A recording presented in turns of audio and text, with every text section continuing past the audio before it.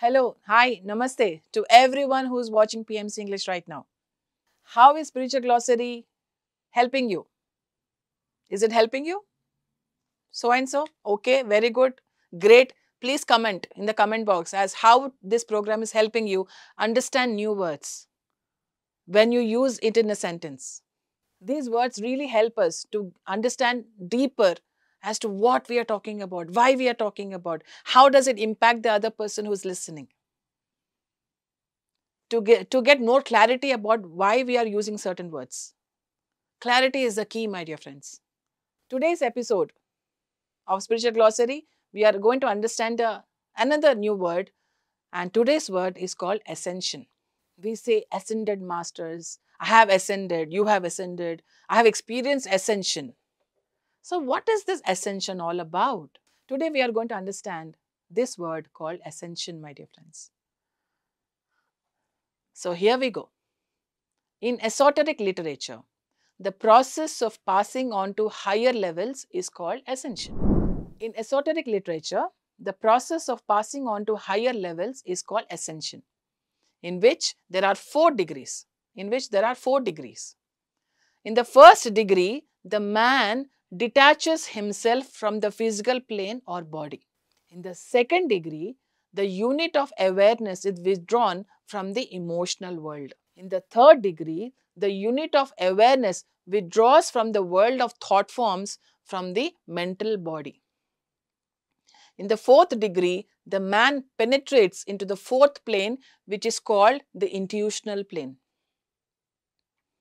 Masterpieces of literature and music lofty ideas, inventions, and visions are the fruits of people who are able to penetrate into the intuitional plane. The ascension or rapture is of two kinds. First, the awareness unit gradually emerges into a divine joy and light, and upon returning to its natural state of awareness, remembers nothing but feels very happy and content. Second, the man is more conscious. He has aligned his bodies and built the bridge through which he can record higher impressions with the brain. In the first case, the man is a mystic. In the second, he is an occultist. So that is what ascension means, my dear friends.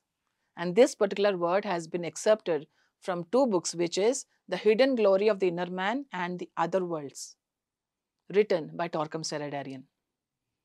So, my dear friends, this is today's word for today's episode of Spiritual Glossary. I hope we have understood what the word ascension means and we can analyze ourselves have we ascended or not and if we have on which level of the four degrees so this is all about self analysis self checking self questioning self awareness it's all about you so thank you so much, my dear friends, for watching this particular episode of Spiritual Glossary. And like, share and subscribe to PMC English. Keep watching every day, every time. Do meditation every day. And please, please, please practice ahimsa and live on plant-based food. Thank you so much, my dear friends.